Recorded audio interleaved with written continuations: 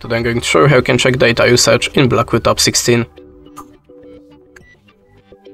So the first tab let's open settings, go to the, sorry about the misclick, go to the SIM cards and traffic management and select data usage.